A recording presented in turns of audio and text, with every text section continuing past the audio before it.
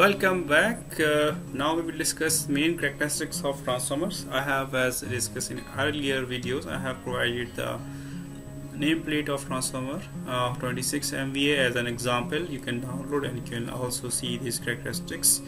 So the major characteristics of the power transformer is in the MVA rating. Uh, in the nameplate I have provided is 2026. It means if the fan force cooling is on it is 26 MVA if the fan is without fan is 20 kVA number of phases uh, 3 number of windings 2 rated frequency 50 Hz rated voltage also mentioned here 132.11.5 kV plus minus 10% is basically is 10 into 0.909 is a tap changer issuing the bandwidth of tap changer. Type of tap changer is on load connection type DYN11 rated current ratio at principal tap is also mentioned here. This is on is on N on F oil natural air natural oil natural air force. Here you can see insulation levels are mentioned here uh, basically.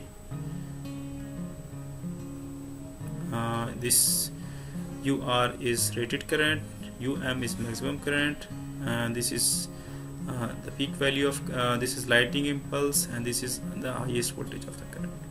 Again the ambient temperature different type of temperatures allowed heat are shown here. Weight is also shown here total weight or weight of oil and tanking transport without oil everything is mentioned here. The oil basically the sum this how much decibel sound how much noisy with the transformer also shown here. Okay uh, this is the basically main characteristics. You can download further the nameplate and discover yourself. Thank you very much